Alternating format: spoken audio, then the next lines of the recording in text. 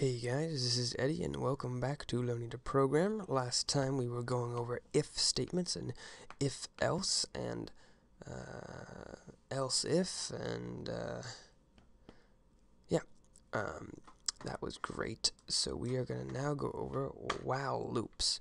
Now looping is important and theoretically, if you could write a while loop in a language, you could write any program out there in existence. Uh, be inefficient, be bad, but you could do it. So let's let's let's think about what they are.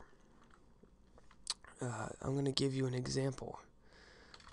Uh, I equals zero. While I is less than five do print i i equals i plus 1. Give me a minute and I will explain this. And let's run this. Okay.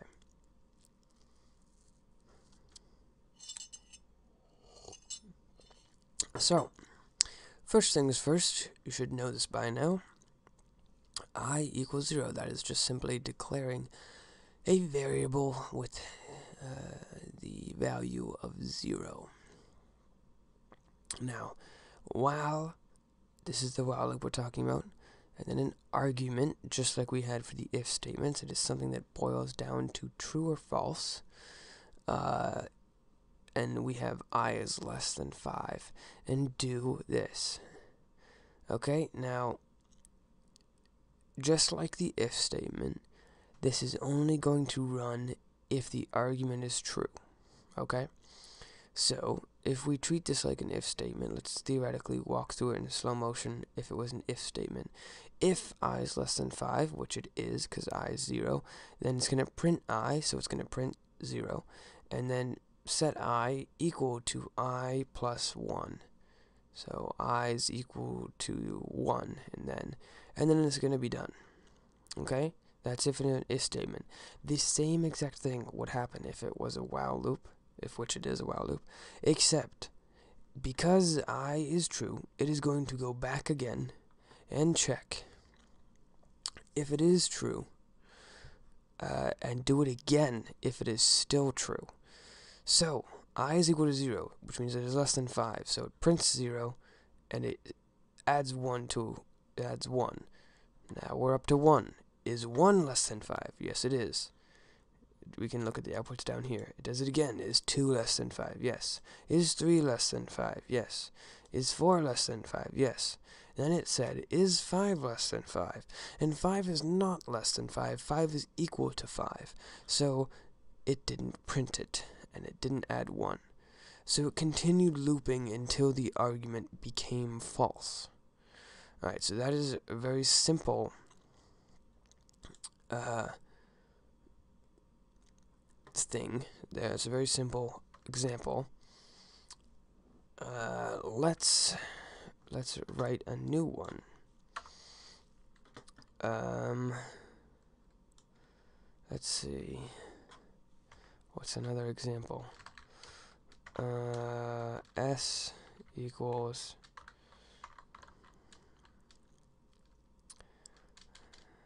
uh, go. While s equals equals go do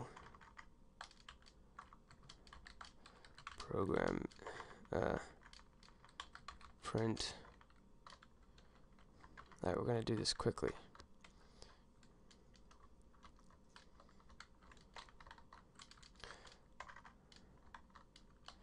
program is in an infinite loop.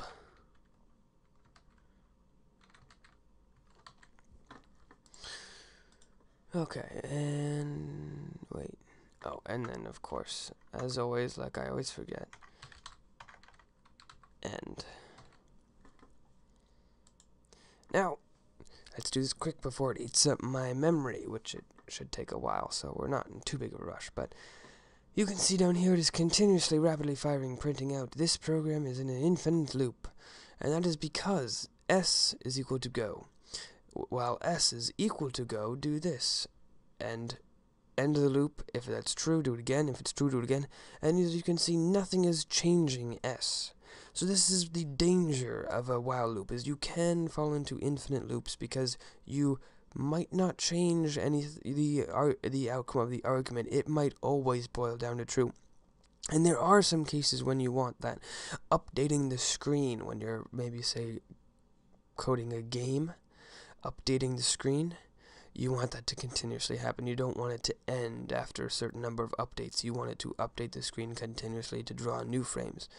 So you do want it sometimes. You might want it to happen at a certain speed. You might want it to happen as fast as possible. But but in general, you don't want it because it's going to just eat up your memory and you're not to your com your program's going to get stuck. So let's stop this thing. I wonder how. That's not going to help.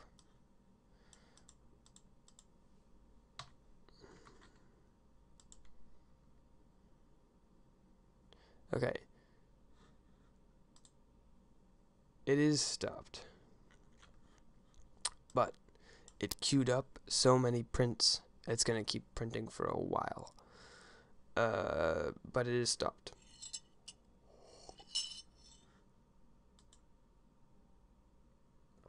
Never mind, it wasn't stopped. Alright, now it's stopped. Alright, so...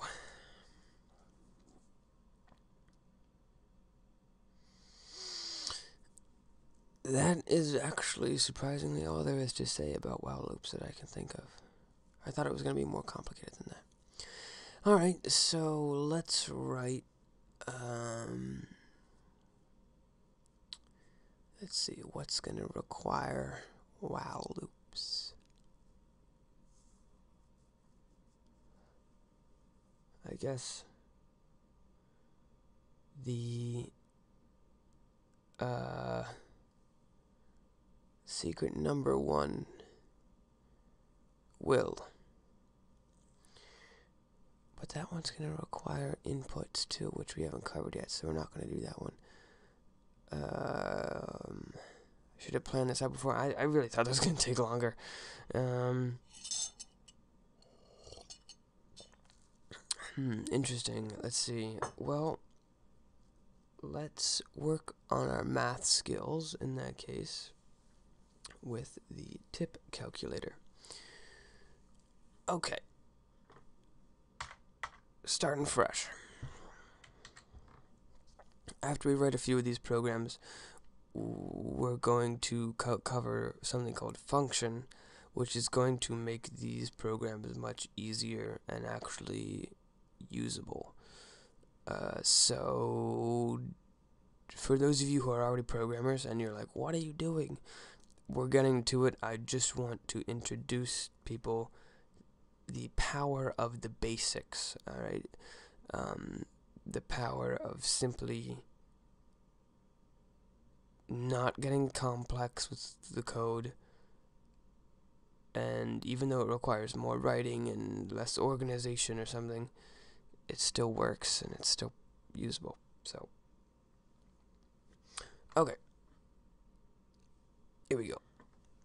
So, we need two things to calculate the tip. We need, and you're going to start to notice that I use very long variable names when I find it useful. So, cost of meal equals, let's just say it was a $24 meal. And percent tip. Um, and we are going to put that as a decimal. Uh, if 1 equals 100% and 0 equals 0% and 0.1 would equal 10% and 0.2 would be 20%. So 0.2 is a 20% tip and that's what we're going to go by. And of course, because we are setting these as variables, we can always just change these values in the code here when we want to and we can then rerun the program and recalculate this tip. So, okay.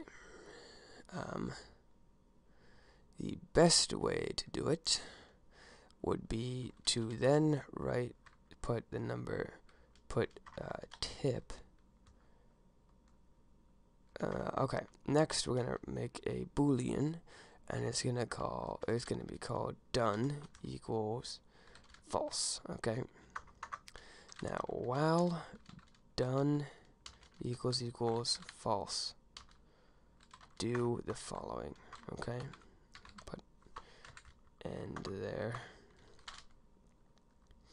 So while done is false, so when the user is not done, uh, do this loop, and it's gonna say cost. Oh wait, that's silly. Alright, this isn't going to use while loops. I was trying to work them in somehow, but we don't need to. Okay, so now we just say tip equals cost of meal times percent tip. And then maybe we'll say total cost equals cost of meal plus plus sign yeah there we go plus tip. And then we can print total cost. Alright let's let's talk briefly and explain this. I'm going to add some comments too that might be helpful. Now one thing we haven't covered yet is how to input things. So that that means how to bring up a little little box that I can then it actually would appear down here in the console where I can type in numbers. So until we cover that, we will just be editing the source code. We'll probably actually cover that next time because it's going to be needed uh, for some stuff. But yeah, so these are the inputs. Uh, this is not needed anymore.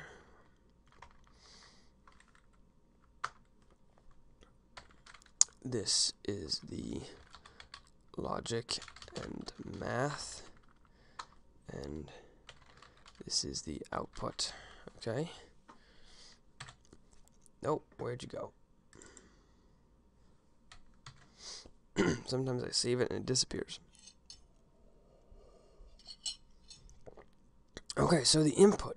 This is what the user would come in and, and change. It would put the cost of the meal, the percent of the tip, uh, and let's change this to 25 so we can see that it's working easier because just using numbers. So 20% is the same as dividing by 5. So the answer, it, when it prints something out, it should print out 5 actually, let's try this.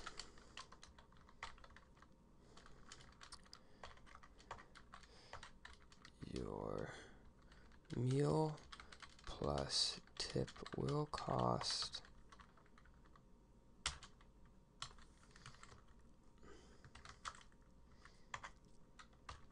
Remember that concatenation I was talking about?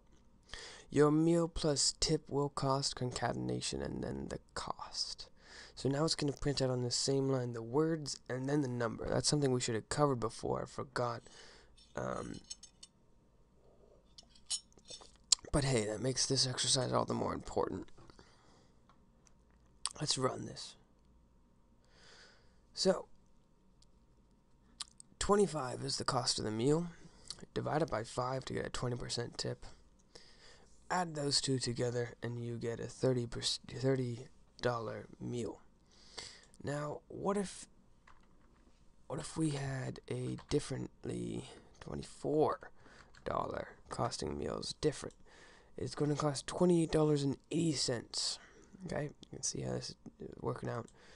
Uh, now, what if we actually wanted to tip 25% because we're super nice? Now it would cost 30 again. But if the meal was that $25 meal we were talking about before, now it will cost $31.25. So we can see how we can edit these inputs, maintain the same logic, the same math, the same little algorithm and operations, uh, and get the outcome. So that's the power of variables. You don't just want to fire up uh, Lua and type in 25 times 0.25 and then when you change one of those values when you say well what if it was a $30 meal? type in again 30 times 0.25 no you don't want to do that. You want to type it once and then you know type all the math once and then just change the inputs. And it will change the entire file uh, or when it runs through the file again it will run through everything. Uh, and do it for you with the new values. so uh, that's a little. That's our first complete program, and by there's a lot more you could do. You could have it so that, like I said, rather than coming in and editing this file and then rerunning it, you could have it when you run the file.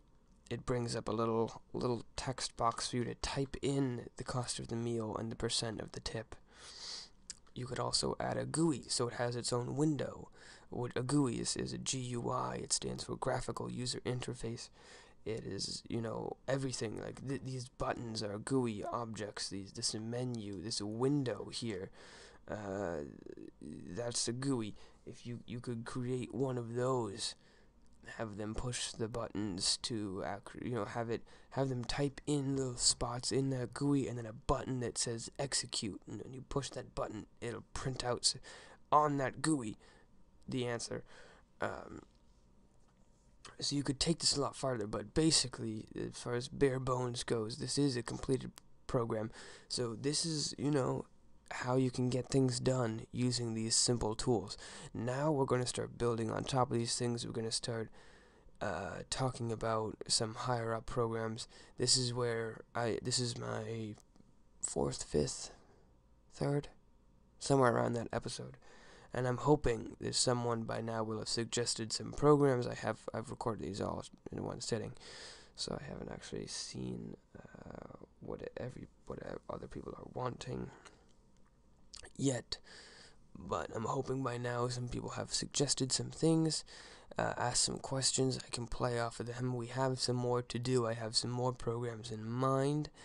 But in general, after we do functions, as far as Lua is concerned, we're done. If we were doing another program, we'd be continuing on, but we're not because uh, Lua is not technically object oriented uh, you can emulate object orientedness almost completely. Uh, you can get all the all the important parts minus a few. Um, but yeah, and then from then on out, this series will last as long as I get feedback or can come up with my own ideas and then after this series is done, we move on to using a particular 3D engine, which is uh, written for Lua, not 3D, sorry, uh, 2D game engine, written for Lua, that will we will be able to write some simple 3D games with. Um, but that's way in advance. For right now, focus on using this these little maths and you know starting with some values performing some math operations on them and printing out the output. Maybe you could work up a calculator so that you start off with two numbers and it'll add them subtract them multiply them and divide them and print out all the results for you. That might be a nice little homework assignment so to speak. Um, but uh, thanks for watching. Hope you enjoyed hope you learned. Remember please keep please give me some challenges in the comment section below. Uh, and aside from that, I will talk to you guys later.